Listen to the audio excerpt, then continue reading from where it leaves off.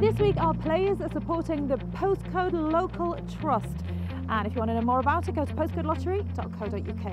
So we've got two lucky winners for this week's street prize in Kingswinford. Let's go meet them. So you've won your face. Fantastic.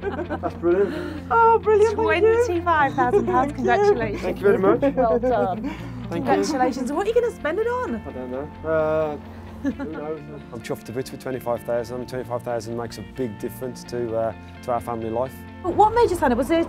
Oh, was it a chance to It, win? obviously, it's advertised on the television, and when you see that a little bit of the money goes to a good cause, then it's it's, you know it's a win-win for both people, isn't it? You know, you never expect to win, do you, when you sign up?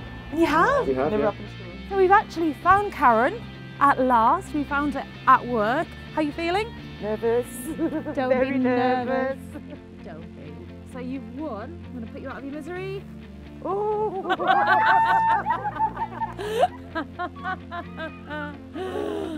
Twenty-five thousand oh. pounds. How does that feel? oh, oh my god. oh, my heart's beating. Oh, Good Lord. sign. Oh, that's lovely. Oh, thank you so Oh, much. thank you. I've just won £25,000 on the postcode lottery. Hey, listen. How long have you been playing? It's not that long. is it, No, really? no, it's my third win. Oh, a third win. Yeah, I've had two tens.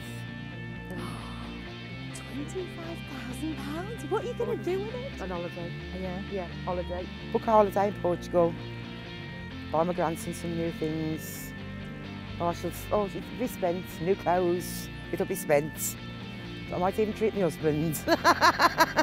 We booked a holiday for the summer, so we'll probably pay the balance of that off. Uh, no doubt Joe want to spend some on the house, bits and pieces. Uh, just generally puts a bit of buffer in your bank to, uh, you know, rainy day fund. Yes, with two growing boys as well. They're very expensive at the moment. The, the boys are at that age where they want everything, and as a parent, you like to give them everything. And although you have to be realistic, but £25,000 helps give them the little bits and pieces that maybe you couldn't have given them this year.